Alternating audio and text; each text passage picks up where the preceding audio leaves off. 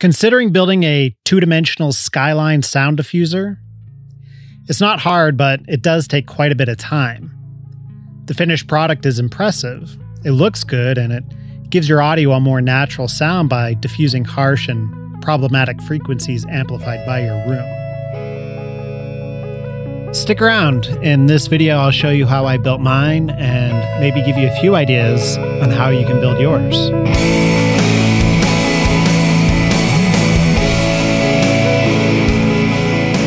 First, you need to start out with a frequency calculator. You need to determine the range of frequencies you're trying to diffuse. In my case, I'm focusing on the frequencies created by the human voice for spoken word, and I'm tuning my panels to 846 to 4514 hertz. This is a little high, but my studio is sound treated with plenty of, of absorption and my goal is to diffuse the brighter frequencies and absorb the lower frequencies. Also, logistically speaking, tuning to this frequency made the project much, much easier to build. At this frequency, the plan calls for the columns or the blocks to be one and a half inches in, in diameter. Uh, dimensional two by two lumber is actually cut one and a half inches by one and a half inches. So this means all my blocks would be sized properly and I'd only need to cut them down to length. And boy, there is a lot of cutting.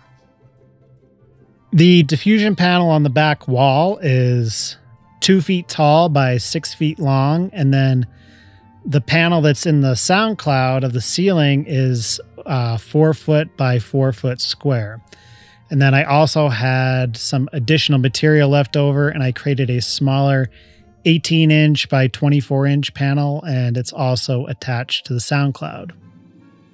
I began cutting my backing plywood to size, leaving a one and a half inch border along all of the edges for mounting. Mine aren't hung um, just directly onto the wall, they're actually inset into the walls. So that's my mounting system. Yours yours may vary a little bit, but um, in order to screw into my studs and create a create them flush on the outside of the wall, I had to leave a place where I could actually screw through. So, um, also, I recommend using a minimum of half inch thick plywood. I actually use three quarters of an inch thick plywood. And this is to help add um, a little bit more uh, robust strength because these things are just massive. They're super huge. They're super heavy, and I don't think that um, I don't think that like if you use something like a quarter inch plywood, like you just risk snapping the whole thing in half as you're trying to lift it or move it around or anything. Also, um, the thicker plywood will help the glue uh, as your project dries to keep the entire project from warping and curling. Uh, no matter what thickness you're using, I recommend that you clamp your your plywood to your work table and then you begin gluing your blocks on. If you don't, the whole project's just gonna warp and curl and bend and it's a pain in the butt. So just avoid that, clamp it, uh, clamp it to your table before you begin working. Next is laying out your plan grid onto the plywood. This is uh, extremely tedious and time consuming, but that's kind of the name of the game with this project. This step may not be necessary if you're able to follow your plan visually and be able to keep track of where you're at, but there are just so many little blocks and little squares and so many numbers that um, getting lost is very, very easy. So, um, this was my best solution was just marking it all out on the wood like this. It's not foolproof though. I learned quickly that once I began uh, gluing, my layout became out of sync and um, was mostly used as a reference to keep my place. Mass produced dimensional lumber isn't cut exactly the same each and every time, and organic materials, wood, tends to um, have a lot of natural variation.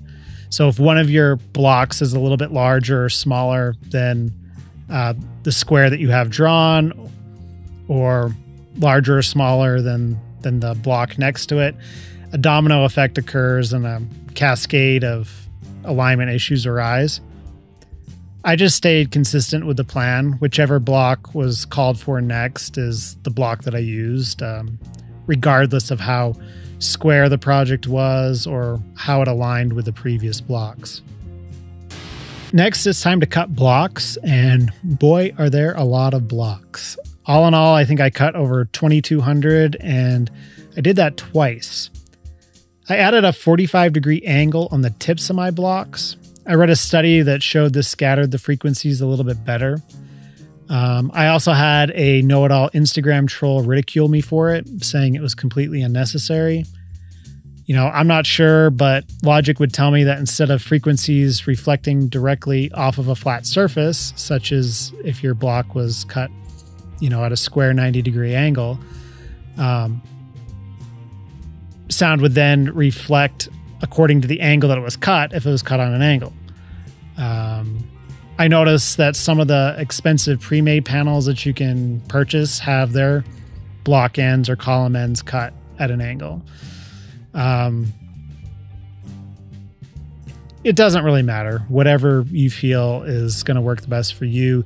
The biggest advice that I can give uh, during this process is safety because it took me hours and hours and hours on the saw and you become mindless. And that's when bad things can happen. So do your best to remain alert and conscious of what you're doing. You know, when you start getting around block 900, you don't you know you're not paying attention like you were. So that's the biggest thing i can stress is just just be careful.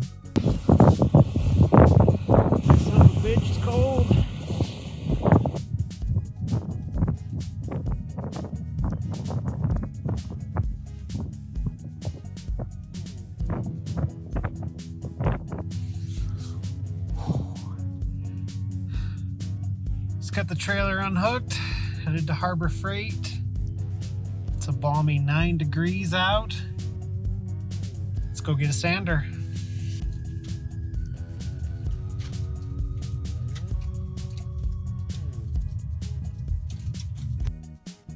Now that all the blocks have been cut, you have to sand them. So here you go. Now you get to sand all four sides of 2200 blocks.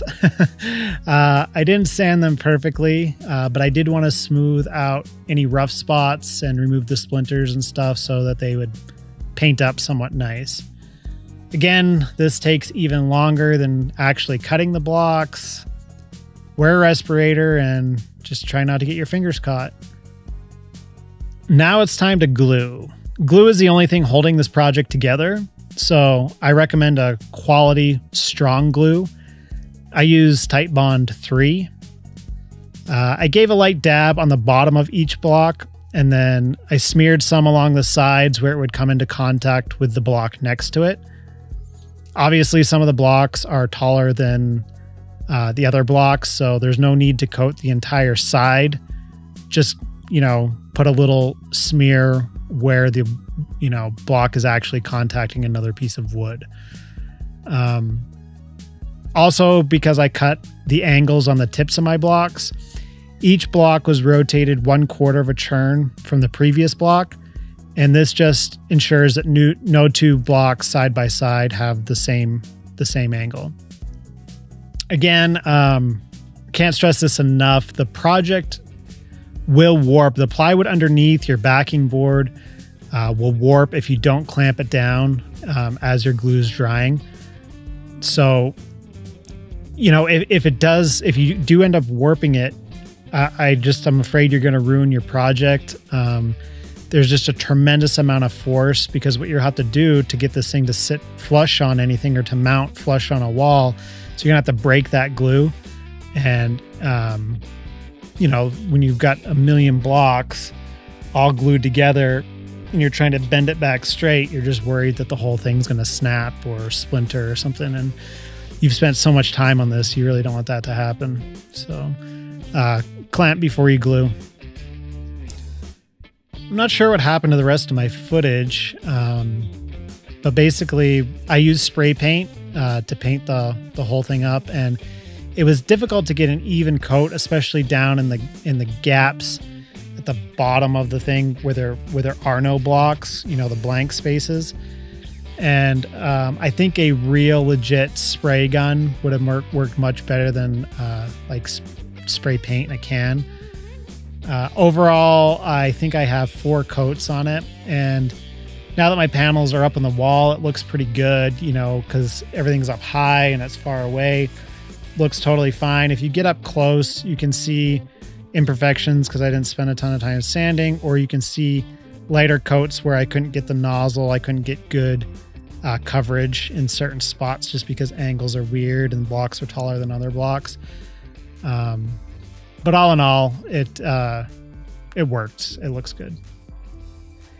Here are the panels mounted, and these things are heavy as hell. It uh, it took three of us to do the job. Two of them had to hold them in place, and then we actually had uh, we made a dead man with a two by four to help as well.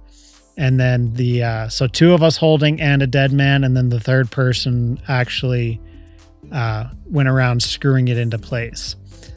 And um, it's important that whatever you mount these two can can handle the weight. Um, make sure it's a solid surface and that you're using some lag bolts because I'm gonna guess that these things are somewhere around 250 to 300 pounds. Uh, they are very very heavy.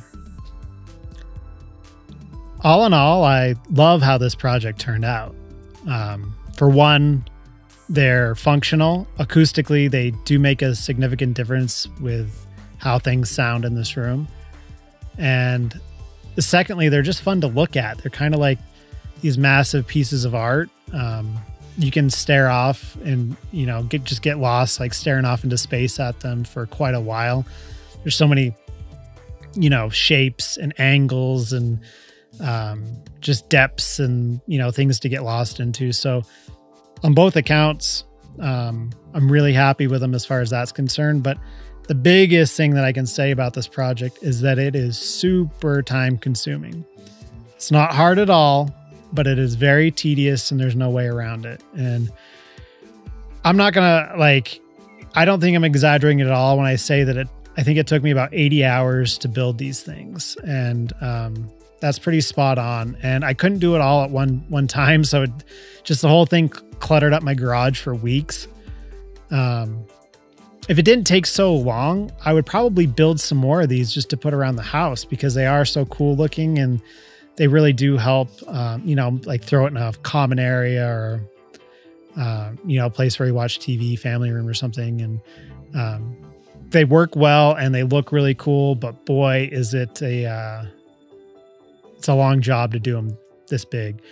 So if you have the time, the end result is um, pretty impressive, and I definitely say it's worth it. But just know what you're getting yourself into. So, anyway, I hope you guys enjoyed it, and I hope I gave you some ideas. And if you're going to build one of these, hit me up if you have any questions. So, good luck to you.